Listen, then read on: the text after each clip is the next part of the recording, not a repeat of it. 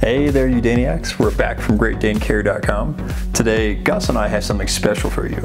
Uh, a couple videos back, we took a poll of all the Great Dane owners, the thousands of which are following this channel, and we asked everybody what is the number one thing that if you could go back in time and kind of change or choose to do differently with your Great Dane, what would that be? Uh, so today's video will be kind of walking through the most common themes and things that really came up from that and dive right in. Now, if you're brand new to the channel, my name is Zach and this is Gus, and we're from Great Dane Care. And it's our mission to help Great Dane owners around the world with all the uh, things that come up and helping you solve the most common problems. Uh, so if this is something that resonates with you, make sure to subscribe to our channel down below and ring that notification bell so that way you don't miss out on any of our future videos. Now the first story that I'll share that we heard from a Great Dane owner, much like yourself, is that when they got their dog, or I should say in this case dogs, that they really wish they had not gotten two Great Danes from the same litter. Now we already know that Great Danes are very large dogs, they're very strong. They do require a lot of kind of work on your part to kind of take care of them. And of course having two of these Great Dane puppies running around is certainly much more work than having one. Uh, but in her particular experience, she shared that she felt that because these dogs both came from the exact same litter, they'd obviously been with each other since birth and had a very close bond, that when they did come to her house, that they were very much so prone to kind of getting in trouble and being rambunctious and just kind of rallying each other up and not always listening to her. What? Did we just become best friends? Yup. You have Um, so she said that while, uh, you know, obviously any dog is plenty of work, that she would probably never again want to get two dogs from the exact same litter just to kind of save herself from that frustration of uh, being ganged up on by these two Great Dane puppies. Now, the second piece of feedback that we heard from Great Dane owners was that they really wish that they'd spent more time kind of investigating or kind of researching the particular breeder that they were getting their dog from. Now, we all know that while you can certainly get fantastic Great Danes uh, through adoption or going to the shelter, many owners do choose to go through a breeder just as a way to help circumvent potential health issues or get a particular color or temperament. Um, and knowing that as a result of these, it does, of course, uh, lead to a higher cost. Um, for working with the breeders, it is very fair that you, as the you know the purchaser and the person who's going to be bringing home your lovely Great Dane, that it's completely fair for you to ask questions. So things like asking for photos and pedigrees for the parents. Um, in this particular case, the person shared that when they actually picked up their puppy, they weren't actually given even a formal uh, printout from the veterinarian with all the vaccinations that they had received.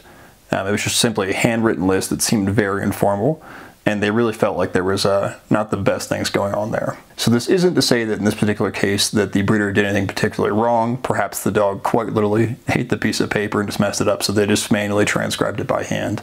Uh, but I would just say caution yourself, you know, when you are researching a breeder and working with them, um, if you kind of feel uneasy or if you feel like you're not getting the answers to your questions, then maybe there is something going wrong. Um, you have every right to kind of ask these questions and investigate them much like a good breeder will be investigating you as well to make sure that you are in return also a, a qualified owner. Now moving on to number three, we'll jump into the hotly debated world of food for our Great Danes.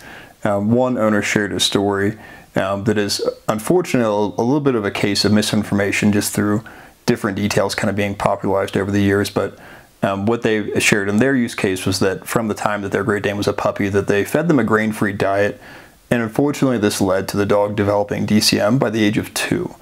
Um, obviously, these types of heart problems are very serious, and while there is uh, no guarantee that you know just feeding a grain-free diet will give your dog DCM, there have been more recent studies indicating that it's really leading to a higher rate of occurrence. Um, so based on the current information, you know, I would always say speak with your veterinarian to get their exact recommendation, but it sounds like a grain-free diet is probably not the best approach unless you're addressing some very specific dietary consideration or need that's come up. So for number four on the list, I can guarantee you that if you check a Facebook post or a forum that you'll see tons of stories about Great Dane owners who have a terrible time trying to cut their Great Dane's nails.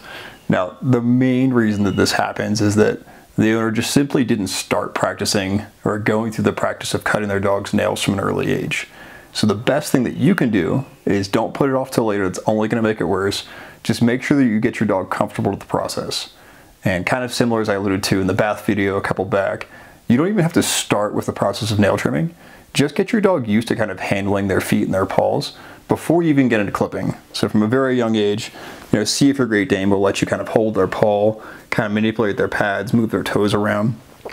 As you can see, uh, Gus is very relaxed and doesn't care at all about what's going on here. And she's actually a really good sport when it comes to getting her nails trimmed as well, because she knows that it always leads to treats. Um, so that's something that you should also make sure you work into this process is not just getting them comfortable with it, but making sure there's always a positive outcome.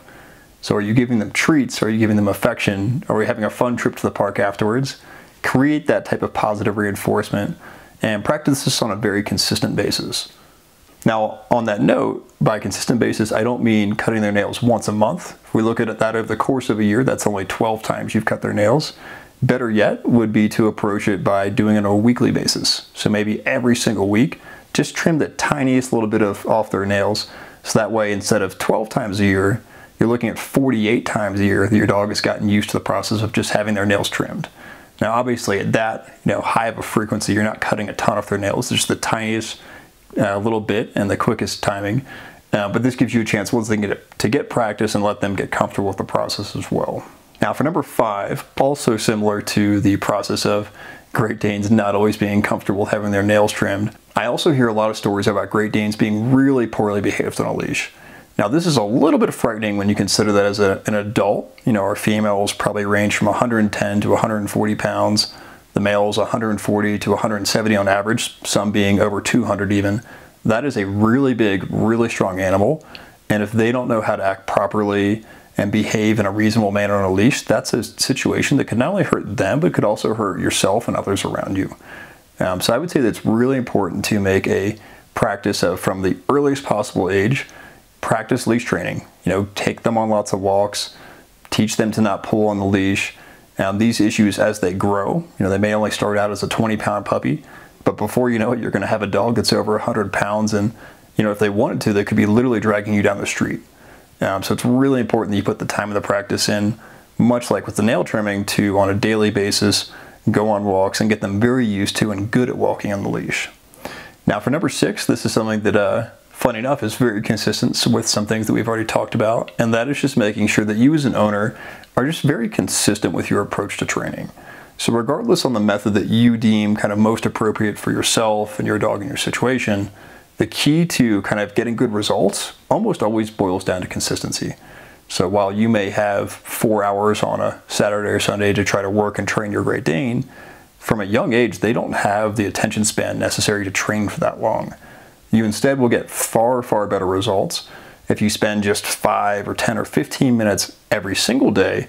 So that way, throughout the course of the week, you're getting a lot of repetition, a lot of practice, and much like the scenario of leash training and nail trimming, over the course of three or six or 12 months, you're accumulating so much practice and really ingraining in your dog these very standard obedience commands for things like sit or down or recall that makes them just very, very good at these. And that way, as they kind of grow larger and stronger, you have really that baseline of training that from there you can expand to more advanced commands if you want. All right, so enough for talking about training. Let's move on to number seven here. And that's just simply that knowing that a Great Dane is a very special breed. You know, it's a giant dog. They have different requirements for food. You need to have beds and crates and space and all kinds of different accommodations kind of ready for them. Uh, several owners reported that they just simply were not prepared before they brought their dog home. Uh, so the key to success, in my mind, very, very much so boils down to preparation. Uh, so your, you know, the time you spent to go and gather these items, make checklists, get the house ready, you know, puppy proof it. Um, while it only may take 15 minutes here and there to do all this, it's much better to do that in advance before you get the dog instead of waiting for them to come home and you're trying to make corrections for all these types of things that were overlooked or forgotten while you're also managing a puppy who is just perhaps going around going crazy, getting into everything. Uh, so really just spend that little bit of time and you'll see that it will pay, that it will pay massive dividends uh, once your dog does arrive. Now for number eight on the list, and this is our final one, but it's the one that I heard the most commonly across the hundreds of different feedback comments that I got, is that regardless of whether your Great Dane lives to be five or 10 or if you're really lucky, 15 years old, that every single owner wishes that they'd spent more time with their dog. Now we all know that during the puppy phases especially, your dog can be very frustrating when they're, you know, biting you and getting into stuff. But you know, as they get older, make sure that you just enjoy every single minute and hour and day that you have with them because the time that we truly have together um, is very limited. So make sure you enjoy it, make the most of it, and love them. Um, so that way you can really cherish that time for years to come. So with that, I'd like to take a quick second just to say thank you to everybody who participated in the comments by sharing the things that they wish that they had changed for their Great Dane to really maximize the time together and the joy that they experience with them. Uh, hopefully this helped all of you who are watching who did not contribute to know the things that you might want to keep an eye out for, you know, just based on the feedback that were heard from hundreds of other Great Dane owners. Uh, so I do truly hope that you found this helpful. And until next time, stay Daney, my friends.